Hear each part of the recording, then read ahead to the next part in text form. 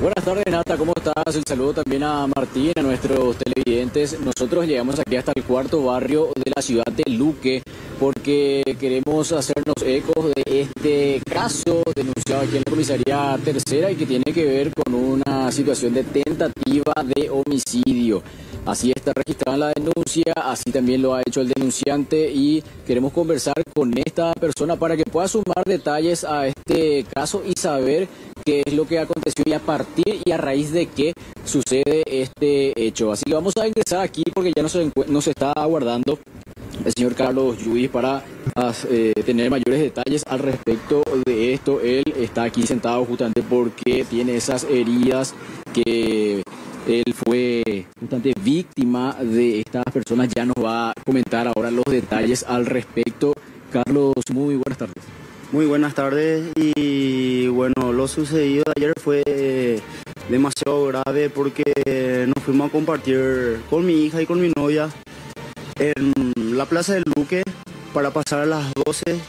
Hoy es el cumpleaños de mi hija donde ella a las 12 de la noche tuvo que pasar en la comisaría tercera del Luque fue un momento demasiado difícil para mí porque no tuve que improvisar la situación porque yo le veía a mi hija llorando, diciendo mi papi, mi papi, yo no sabía qué iba a hacer y tuve que correr por mi vida.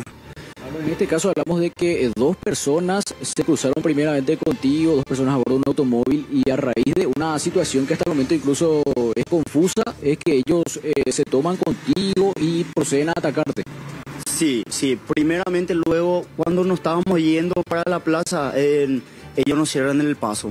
Yo tengo que hacer una maniobra para subirme en la vereda de Luque, en la vereda de, de allá donde estábamos y Después nos vamos atrás de ellos sin crear ningún problema porque yo estaba con mi hija y con mi pareja. llegamos a la plaza, se baja su vehículo y este loco empieza a decir que yo le estaba siguiendo. Se baja y ya me estaba viniendo como para atacar. Entonces yo agarro, le digo a mi novia que ataje la moto y me bajo de la moto y él ya me da uno en la cara donde él me rompe mi nariz y mi boca. Entonces agarro y para defenderme, para ver si, o sea, si no me bajaba la moto, capaz que me, echaba la moto, mi hija podía salir lesionada, mi novia también, entonces me bajo y me defiendo. A lo cual de eso que nos caímos en el suelo, eh, tengo varios golpes. Eh, en un momento él agarra de su bolsillo y saca un objeto punzante, a lo cual eso me da prácticamente al costado de mi empeine donde yo no siento en ese momento por, por lo que estaba pasando, por lo que estaba viendo a mi hija llorando. Entonces yo agarro y le suelto al señor y él agarra, se va en su auto y dice que me va a matar. A lo cual eso mi pareja se va y dice que, que se tranquilice porque, está con, que estoy con mi hija. Y él le dice a mi no que huele ahí porque, le va porque me va a matar. A lo cual eso saca un martillo porque tenía una caja de herramientas. Tenía una caja de herramientas, saca el martillo. Yo tengo que correr por mi vida para que mi hija no vea en ese momento, a no ser si agarraba y me pegaba por mi cabeza, creo que me iba, me iba a matar. A lo cual eso yo estoy pasando un momento feo mi familia porque nosotros ya perdimos ya un, perdimos ya un familiar, yo perdí ya a mi hermano. Eh, si pasaba algo peor, iban a volver a pasar. Atrás de eso se podía ir ya mi madre, se podía ir mi padre, mi hermana. O sea, se podía complicar todo. Entonces yo corro por mi vida y me persigue, me persigue. Yo corro por mi vida y corro descalzo, a lo cual eso, el asfaltado está demasiado caliente, me saca un pedazo de mi piel, me saca, corro por mi vida igual. Estaba auxiliando, auxiliando, me persigue una cuadra y media, me persigue cerca de la Copetrol que estábamos nosotros y agarran unas personas y me auxilian y él agarra y se encierra con su martillo en, el, en la copetrol. Gracias a eso, a esas personas, yo creo que puedo contar porque no creo que iba a poder correr más por el dolor que tenía. Y me auxiliaron ellos, después él agarra, sale y se va enfrente de una lomitería y se refugia ahí. Y eso, eh, me sentí muy asustado no sabía cómo actuar en el momento porque pensaba en muchísimas cosas. Eh, el, día, un día especial pasamos trágico. Eh, prácticamente mi hija se quedó totalmente traumada. Y hoy en día me doy cuenta que uno no puede salir a compartir con su familia porque hay muchas clases de personas como este que no piensan en lo demás, solamente piensan en él mismo y perjudicar es fácil para ellos. Carlos, siempre que te sea posible, ¿te podrías poner de pie para ver también las heridas? Mencionaba justamente la parte donde procede a atacarte con, el, con lo que sería el arma punzante. Sería este, la primera herida y luego ya lo que decías, eh, que corriste en el asfalto, eso te generó también un... Tuve que correr porque un pedazo salió prácticamente de mi piel, mi codo, todo, estaba prácticamente solo en ese momento. Y todas estas cosas, por ejemplo, no puedes salir tranquilo más a disfrutar con la familia porque es demasiado complicado como está la situación hoy en día. En este, Carlos, en este caso, Carlos, entendemos que la denuncia ya fue hecha por tentativa de homicidio y que ahí detalla ya también el nombre de esta persona. Todo, tenemos todo, el señor se fue también a hacer la denuncia.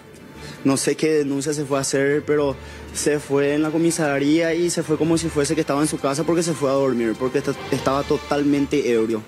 Ahora, para aclarar, esta persona, ustedes hacen la denuncia por tentativa de homicidio y él a su vez hace una denuncia en contra de ustedes. Sí, sí, no sé por qué, porque él tenía el arma y tenemos demasiada evidencia que me justifica porque tuve que correr por mi vida y todo, todo el mundo estaba en las calles. Esta persona es acá de, la ciudad de Luque también, ustedes lo conocen, lo ubican. Nosotros no le conocemos, pero ya tenemos ya información de su vivienda, sabemos quién es.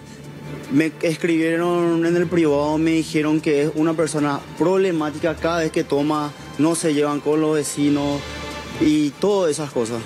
Ahora, ¿qué acciones realizaron hasta el momento los efectivos de la comisaría tercera? Eh, ¿Procedieron a aprender a esta persona? ¿Ya le solicitaron algún elemento adicional, algún dato, algún número telefónico?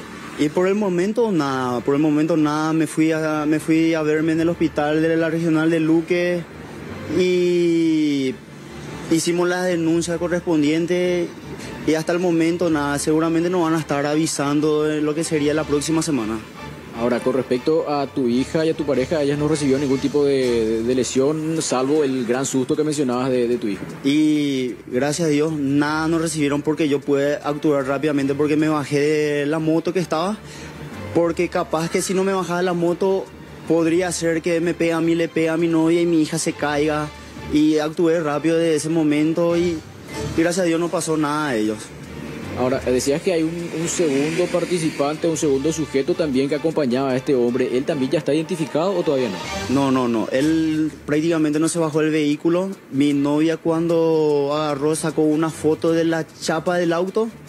El señor agarra y huye del, del, momento que a donde estábamos nosotros. Capaz que había bebida alcohólica dentro del auto. Me decías que en ese momento también es donde este sujeto amenaza o de cierta manera también le dice cosas a tu pareja. A mi pareja sí, le dice que huele ahí o sino que también que ella le va, que le va a matar y después dice que le dice que le va a matar, que me va a matar a mí. Gracias, Carlos. Muchísimas gracias a ustedes. Bueno compañeros, ahí teníamos el relato justamente de este hombre que terminó con todas estas heridas que ya acabamos de observar y a raíz de una situación bastante confusa porque uno no entiende cómo es que estas personas proceden a realizar este ataque de la nada, incluso estando una menor a bordo de la motocicleta. Las denuncias ya fueron hechas hasta la comisaría central, tanto la que hace el señor Carlos como la otra que él menciona que hace esta persona en contra de ellos. Vamos a ver si podemos asistir también hasta la comisaría central para poder tener también ese detalle, esas referencias y también los detalles al respecto de este caso, compañeros. Bueno, sin dudas el calor, la época del año hace que la gente esté totalmente intolerante. Es algo que se da con cierta frecuencia ¿no? en el primer episodio de, intolerancia en la vía pública. Así que para evitar pasar estos malos ratos, hacemos ese llamado a la calma, ¿verdad? Porque al fin y al cabo todos queremos pasar eh, la fiesta de Navidad con nuestra familia, no queremos que falte nadie Muchas veces la intolerancia desmedida eh, termina en un desenlace fatal. Afortunadamente este caso no es así. Eh, imagínate, un destornillador, es un arma contundente, pudo haber sido otra la historia. Acá, Nata, en, la denuncia habla de bueno, tentativa de homicidio. Claro, es tentativa de homicidio. Eh, y claro, después menciona a esta persona que después fue a denunciarlo incluso, ¿verdad? Sí. pero es lo que vos decís, ¿verdad? A eso sumado al alcohol, y demás termina siendo un detonante de una desgracia que estuvo a punto de consumarse, ¿verdad? Totalmente. Oliver, gracias por los detalles. Hasta luego, compañeros. Hasta luego.